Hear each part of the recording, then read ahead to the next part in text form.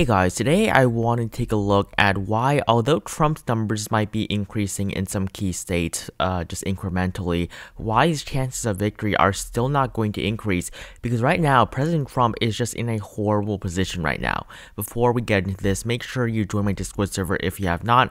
We're doing many giveaways, event, events, and contests on there before the election, so make sure you join so you do not miss out on that. In addition to that, I've also launched channel memberships on this channel. Just click on that blue join button next to the subscribe button, and you can learn more about these nice perks that you'll gain for just 99 cents per month. So moving on to today's video, basically this electoral map right here shows every single state that Trump and Biden won with solid margins in 2016. Or not Trump and Biden, but Trump and Hillary won in 2016. Clinton won 151 electoral votes from solid states. Donald Trump 113. So Trump basically is just all of the typically red states with the exception of South Carolina and Alaska, two states Trump won by 14%. So we're going to give those two states to Trump. These states I think are going to be likely states again this time around. But for these other Trump states, Montana, Kansas, Missouri, Indiana, I believe are going to be a lot closer and are going to become likely states. Now for Joe Biden, taking a look at the Clinton states, all these states are going to remain solid. There's no doubt about that. Oregon is going to be solid this time. I also think Connecticut, New Jersey, Delaware will also all be solid as well as the 1st District of Maine, so this gives Joe Biden 183 electoral votes. Now, all of these states on this map here, those are all of Trump's solid states, as well as likely states they've all been filled in. Before Joe Biden, he has quite a few likely states that Clinton won by very, very narrow margins that I think that this time around are going to be likely states. First, state of New Hampshire, the most significant of these states. Clinton won this state by 0.3%, less than 3,000 votes. But now Biden is expected to do much, much better than Clinton, winning the state by probably over 10%. The Maine at large vote will also become likely. It was around 3% last time. This time it's going to increase even more. I think it's going to become at least a 12 to 13 point margin in favor of the former vice president, as well as the state of Minnesota, which at this point I think is completely gone for Trump, a state that Clinton won by 1.5%. Virginia, also a pretty close state last time around, is going to be an over 10% margin for Joe Biden, and so is Colorado and New Mexico, which had pretty similar margins to the state of Virginia. So this gives Joe Biden 226 electoral votes to President Trump with 125 and it is really these gray states that are going to decide the election. Now, I'm not going to be taking a look at these states here, so I'm just going to go with my prediction from earlier today, just giving them both to Joe Biden as killed districts. So this is our electoral map, and the gray states left are the battleground states. For Trump to win this election, he would first have to win Texas, which is the most conservative out of these states, then Iowa, followed by Ohio, followed by Georgia. And this puts him only at 200 electoral votes. He would also have to win North Carolina. That is a must win for Trump. Florida as well is a state that he must pick up and he's still not at 270 electoral votes. The next state for him to win would be the state of Arizona. He has no chance in Nevada. And then of course he would have to win either Wisconsin and one of these two states or he would have to win the state of Pennsylvania. So although the state of Pennsylvania is a very important state for Biden to hold on to, it is also a very important state for Trump to hold on to. And I think that if on election night, whenever the state of Pennsylvania is called, if Pennsylvania is ever called for Joe Biden, Biden, that is the end of Trump. Trump will not be able to recover from that. There's no way Trump can win both Wisconsin and Michigan, but lose the state of Pennsylvania. That is just not going to happen. And for Joe Biden, if he wins Michigan, that will you know make the race even closer. And then if he wins Nevada, then he would get to 270 electoral votes. So basically, Trump has to win one of these three Rust Belt states: Wisconsin, Michigan, and Pennsylvania. But right now, taking a look at the polling data, I mean, Trump just is not there in any of these states. The only states in which he leads in are the states of Ohio and Texas, 181 electoral votes. Every single other state is projected to go to Joe Biden based on the polls. And in 2016, the polls were not wrong. They were barely off Michigan and Pennsylvania. They were within the margin of error. So the pollsters knew that Trump could have won these states four years ago. Wisconsin, they did not. We'll take a look at Wisconsin closer in just a few moments. But Wisconsin was the only state that was wrong all of, the, all of these other states, I mean, Iowa, Ohio, Texas, North Carolina, Florida, and Arizona, all of these states, they were projected to go to Donald Trump in 2016. None of these states had Clinton up except for the state of Nevada, which uh, Trump was leading in, but Clinton won at the end. But there's really no other state besides these three Rust Belt states that Clinton was leading in, but Trump actually won in the end. So Trump was leading in all of these states by pretty slim margins, and he won all of them.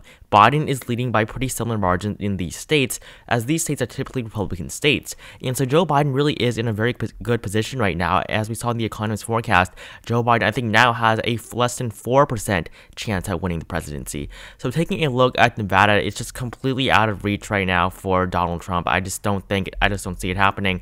I mean, Clinton won the state by 2.4%. If Clinton can win it, I'm confident that Biden can win and Biden's doing much better than Clinton. I mean, that's seven point swing to the left comparing the polling data. So Nevada, absolutely no chance for Trump. That's going to be lean for Joe Biden for right now. The state of Arizona, 11 electoral votes. I think this is going to be a lot closer than we thought. I expected it to be a lean state for quite a while. However, now taking a look at these new numbers, I think it will tighten up a little bit more. And I think Arizona will become a tilt state, and I wouldn't be surprised if Joe Biden didn't hit 50%, but I think that at the end of the day, Joe Biden will still carry the state. His numbers are still holding up here in Arizona. I think that he will, in the end, still be able to carry this state. This state has not gone to a Democrat since 1996. So this will be a pretty historic flip for Joe Biden, but I do think it will be a tilt state as of right now.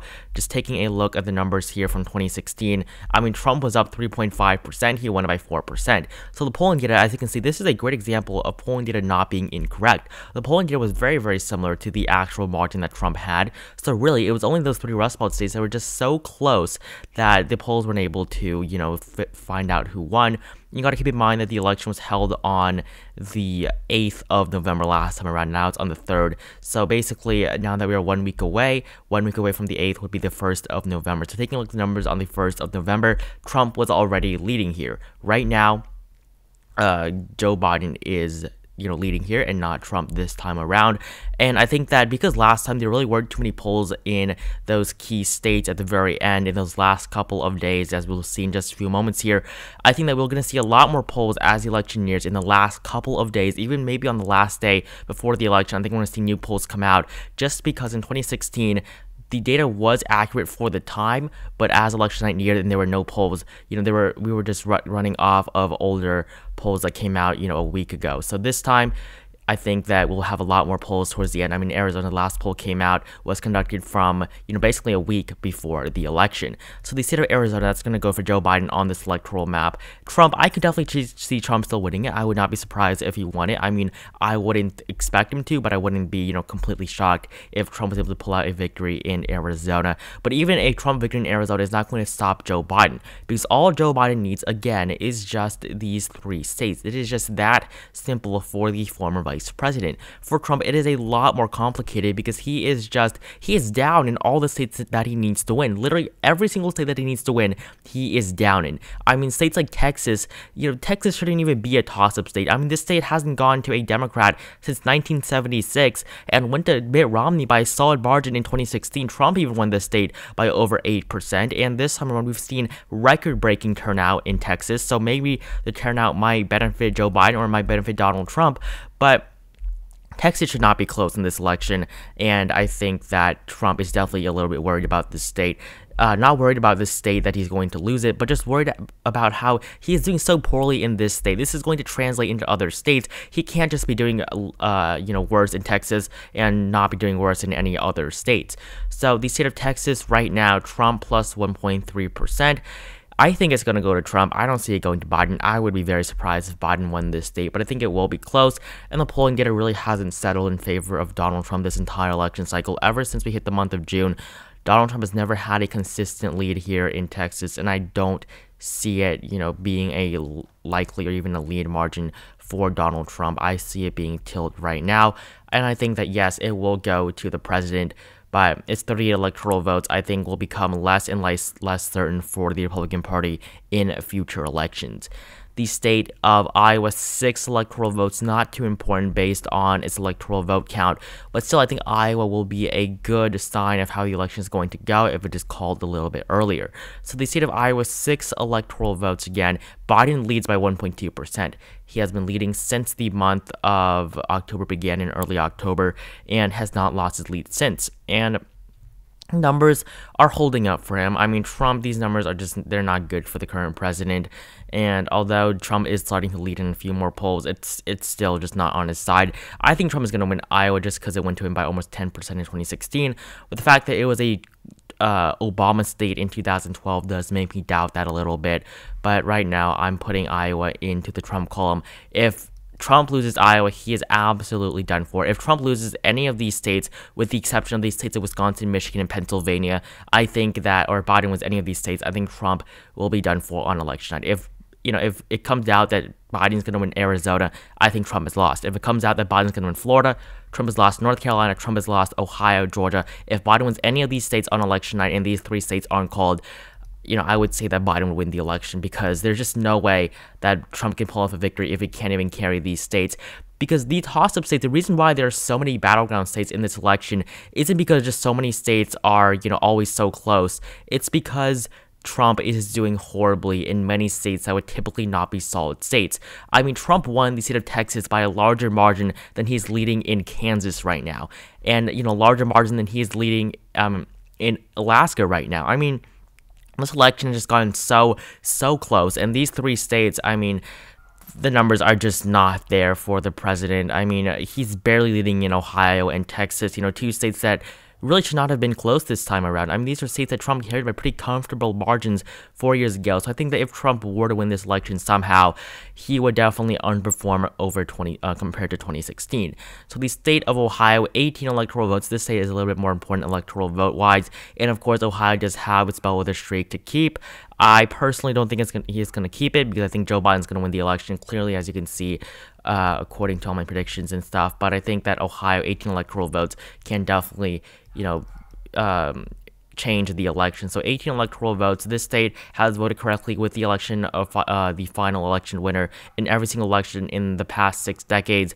But as I, as I said before, it doesn't matter anymore because Ohio voters do not align with American voters on average anymore. It voted 10 points to the right of the national average. So Ohio is no longer, you know, a you know it's still the bell- bellwether state as we haven't voted this time around, but it's no longer as credible as it used to be. So the state of Ohio, Trump plus 1.6 percent. That is just it's better for Trump. He's leading almost all the new polls, which is good for the current president, but still the lead is not strong and it's still just 1.6%. So he still definitely has a lot of work to do in Ohio, but right now I think that it's pretty much locked in for the president at this point in time.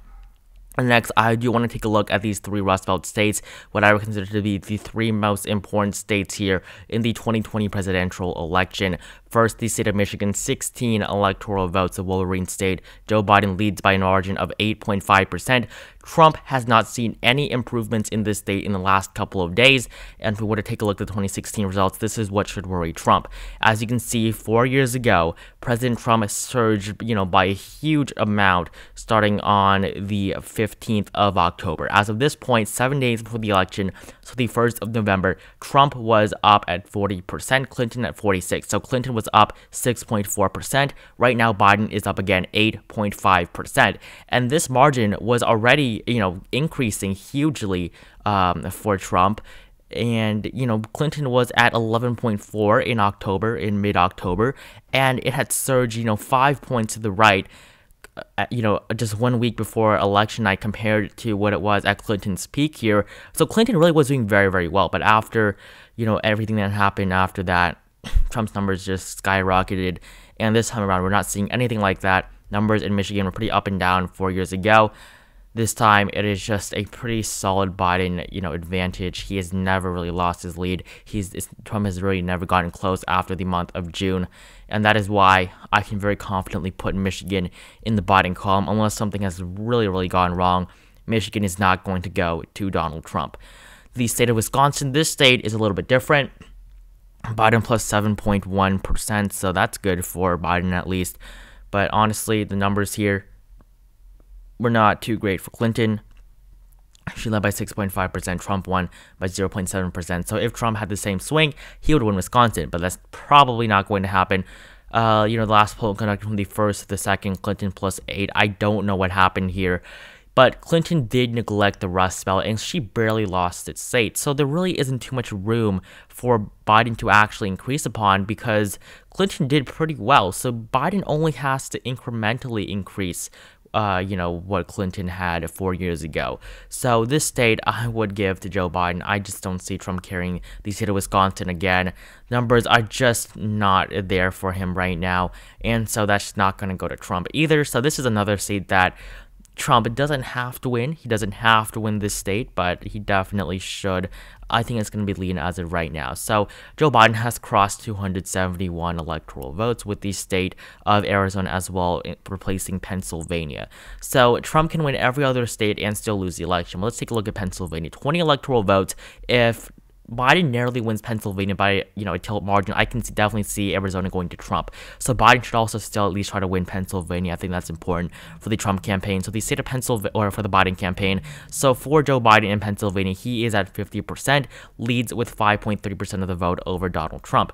In 2016, Clinton plus 2.1 at the end, Trump plus 0.7. And you see that final Trafalgar Group poll. That's why Trafalgar Group is so in their head. Um, about how great of a pollster they are and how they got 2016 right. But honestly, they were just the final pollster. They just got lucky, in my opinion. You know, these polls before that did reflect a Clinton victory, but they were the only poll to uh, actually poll things a little bit later. So, and here in Pennsylvania, you also see that after the 30th, you see on the 1st of November, Clinton led by 5.1%. She now leads, Biden now leads by 5.3%. So the numbers are similar, but you really didn't see that type of surge for Trump that you saw last time around. And personally, I, I don't see it. Like, I just don't see it. I mean, Biden just by himself, I think that if Biden did everything Clinton did, I still think he can win the election. If we went back to 2016 and we just replaced Hillary Clinton with Joe Biden, had Biden do basically almost the same things, I think that Biden would win the election just because he is he is just more well liked. I mean, the email scandal, if Joe Biden had that, I think that would crush him as well. But just the fact that Joe Biden is just so much more popular than Clinton. I mean, Clinton's favorability in 2016 was negative 12, 13%. Biden's right now is plus 6%. So Biden is just that much more popular, and I think that his popularity alone will get him to the White House. So Pennsylvania, that is going to go to Joe Biden as well with a lead margin. Really don't see it going tilt, but definitely it can happen, but I think it's going to stay above 2%. So we have three final states, these states in the southeast. The state of North Carolina right now, Biden plus 2%. This is an alright lead, probably his average lead that he's had this whole time. Trump doesn't seem to really be leading in too many polls here. I'm confident in a Biden victory in North Carolina, and so I will be giving North Carolina to Joe Biden as a tilt state. I think that he can flip the state in this election, and I'm confident in that. But, I mean, I wouldn't be surprised if Trump won, but right now I would bet my money on Joe Biden in the state of North Carolina. The state of Georgia, 16 electoral votes. Biden plus 1.2%. Biden's been leading for the entire month. I think that is significant. This is a state that Trump won by over 5% in 2016, and a state that has not gone to a Democrat since 1992. This used to be a solid Republican state, but right now it is a Biden state. I'm not going to give it to Joe Biden. I don't think he's going to win the state of Georgia because voter suppression is a very unfortunate thing that occurs in the South. And, you know, although it's wrong, we still do have to consider that when making projections like this. So, Georgia, I think, will go to Donald Trump. So, this just shows that Trump is really not in a good position. Joe Biden right now is at 306 electoral votes, the exact number of electoral votes that Clinton or that Trump won in 2016. And then finally, we have the state of Florida, 29 electoral votes.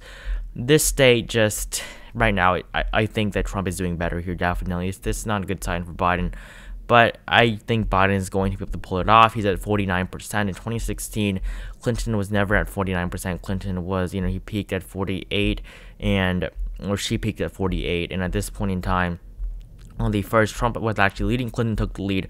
But then, so Florida was very, very close. The polls really weren't off too much. You know, Trump overperformed by 0.8%. So, following what we saw in 2016, I think that Biden will win the state of Florida, and I think they will be very, very close once again. But still, I think Biden will be able to flip the state of Florida. Joe Biden is just doing very, very well among seniors, and Trump just really isn't showing the types of numbers that he saw in 2016. So this just shows that President Trump, with just one week to go, unless something really drastic happens, I don't think he's going to win the election. He is down in so many states he needs to win. He would have to flip North Carolina, Florida, Arizona, and Pennsylvania on this electoral map to win the election, and those numbers are just not there for him. On this electoral map, the only state that Joe Biden has to hold out of the battleground states are, of course, these two states and then Pennsylvania. So, really, the only state that is actually a little bit competitive is Pennsylvania, but still, looking at the polls here, Joe Biden's still pretty comfortable here, plus 5.3%. So that will be it for this video. Joe Biden 335, Donald Trump 203. This is basically my prediction, but I just wanted to go more in depth about just the state of the election right now and how Joe Biden is wildly outperforming expectations. As of course, we thought that the election would narrow up, but really hasn't really narrowed up that much. No, not really. Biden was never realistically probably going to win Georgia, Ohio, or Iowa. So that it will be it for this video. Make sure you like, comment, and subscribe. Join my Discord server if you're not. The link at the very top of the description below. In addition to that, I have also launched channel memberships on this channel, so make sure you consider getting those as well. So thank you guys all so much for watching. As I said before, like, comment, subscribe. I think I said that already too, but I will see all of you guys in the next video.